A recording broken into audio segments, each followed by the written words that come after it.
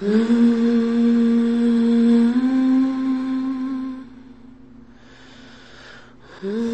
isn't safe. She has wrong feelings for him. Mm-hmm.